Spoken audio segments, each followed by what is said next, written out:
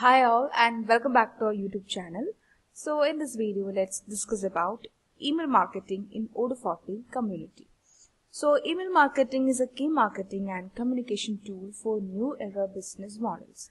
So marketing uh, enables, email marketing enables a business to send notices or any other kind of messages to a group of individuals using email communication facilities. So it helps to cover a large group of individuals for business purposes and it provides a business with support to convince customers. Apart from winning the confidence of existing customers, email marketing works as a tool to attract new customers to business. So first step is to install email marketing from Odoo app list and uh, so we have we can see this is an email marketing and email marketing dashboard gives a clear view of already created mail list. So we can create a new mailing list by just clicking create button.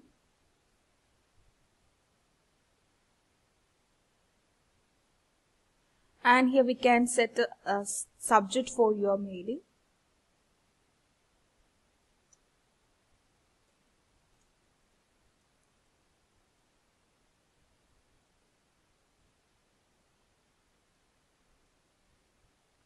Then we can set a preview test here. Uh, then recipients. The user can choose a recipient model with the help of a drop down menu.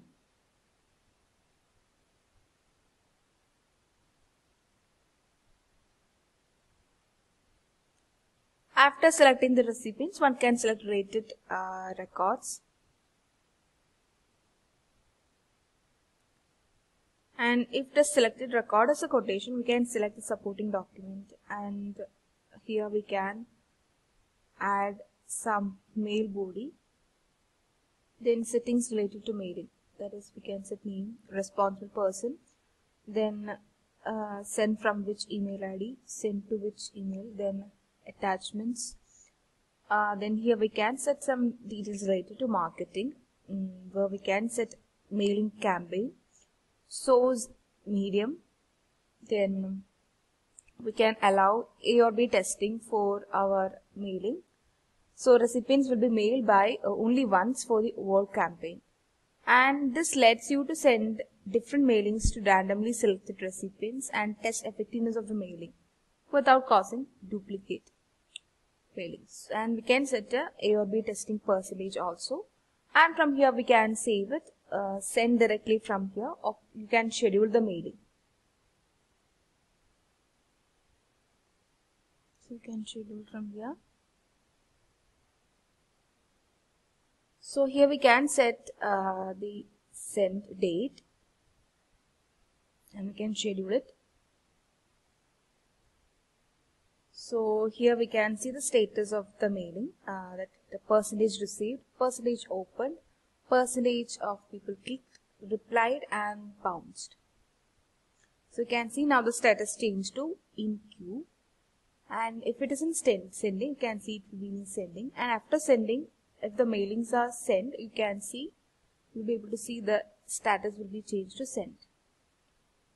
Okay now when you come back to dashboard you can see that. So here we can see our new sale is in queue and we can see the date scheduled and the total mailing contact. From here we can also delete, archive or change the color of this mailing.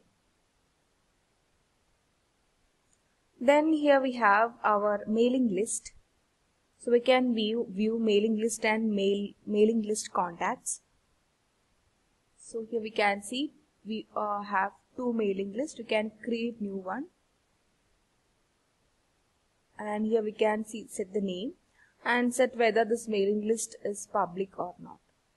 Then here we can see mailing list contacts, it's name of the contact, uh, details can be viewed from here. Then we can manage campaigns.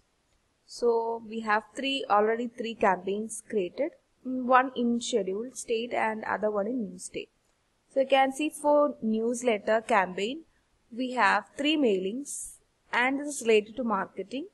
And you can see total number of clicks and leads created then the total revenue of this campaign uh, then the quotations created from the campaign. So you can click on this and view things uh, campaign in detail.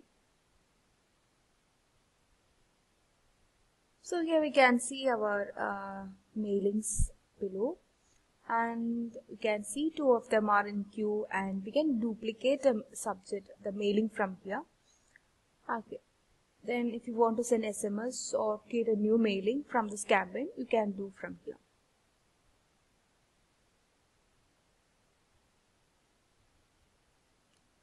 Then here we can uh, configure campaign stages. Then we can configure campaign tags. So you can assign set these tags on your campaigns. Like we can uh, create tags like marketing and all. Then here we have link tracker. So adding tracking links to your social media messages blog post email campaigns and press releases for a full overview of your marketing success and failures so we can see we have added link trackers to different pages. You can see the target URL, number of clicks of that page and we can visit from here and we can also view the statistics of that page.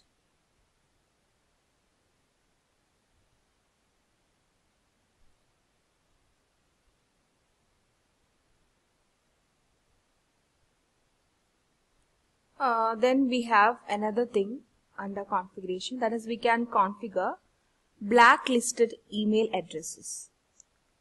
So it is possible to uh, block a contact by user. So you can user can add a contact to the blacklist and by adding email address, uh, blacklisted contact will not receive any more mass mailing.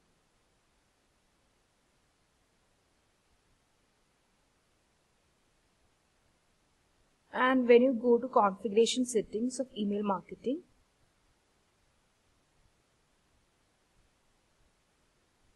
there we can manage mass mailing campaigns uh, then blacklist option when unsubscribing. Then we can use a dedicated server for mailings. So here we can configure the mail server that is used for our email marketing